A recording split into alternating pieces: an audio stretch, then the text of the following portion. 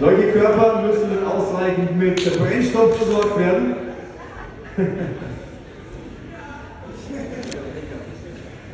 Simon Schuster und Quincy